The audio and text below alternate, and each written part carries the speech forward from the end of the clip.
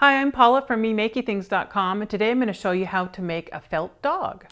So I have two little dogs right here. I have this, they're both little Scotty dogs and one of them is a three-dimensional dog and the other one is just a flat two-dimensional dog.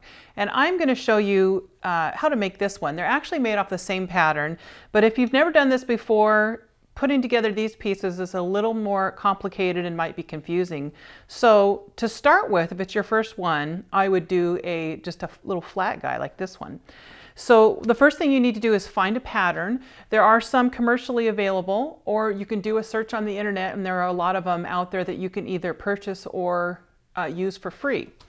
So I found a pattern that I liked, and then what I did is I traced it onto freezer paper. And that is just your regular freezer paper that you get in the grocery store. It's like paper on one side and the other side has kind of a plasticky coating. And this works great to cut your pattern out without having to pin it down. All you have to do is put it down there and take a, a hot iron and you iron it onto the felt and the plastic melts just enough to stick it down onto your paper which makes it very easy then to take your scissors and just cut around your pattern like that. So I have a couple that I've already cut out here and you can see how easily the paper just will come right off of there. And if you don't hold your iron down very long, it will come off, it, it doesn't stick hardly at all. So you want to experiment a little bit to get just the right temperature. I will tell you that this felt, the craft felt, is a synthetic material and a hot iron will burn, will burn it. As you can see, I have a little bit on my iron. I've been doing a lot of felt work, so I'll have to clean that off before I iron any clothes with it. Anyways, that comes off very easily.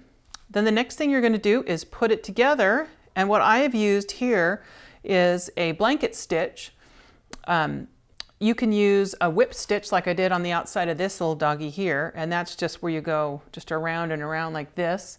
Uh, sometimes people will use, I used embroidery thread because I wanted this thread to show. Sometimes people will use just regular uh, sewing thread like this, and if you match the color of the of your felt, then you don't see the stitching at all. But I wanted to see a little decorative stitching here, so I'm going to show you a couple of stitches here, how the blanket stitch is done. You come in just a little bit down from where you where your last stitch was. And then what you do is slip it right back underneath that thread. Then you go over again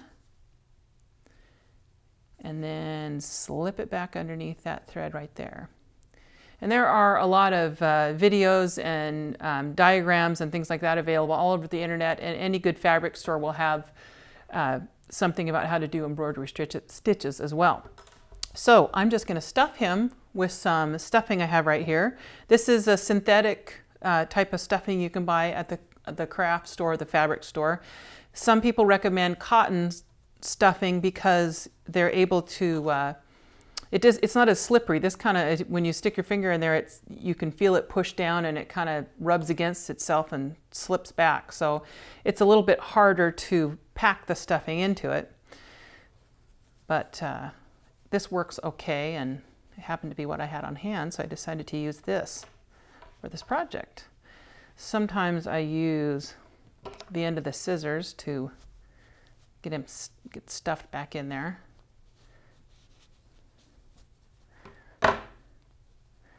got it a little bit tight there. But anyways, looks like I need a little bit more stuffing, but I would just uh, do the blanket stitch down the end of the side until it's, it's at the end of the stitching here and tie a knot in it. And then I would have this guy.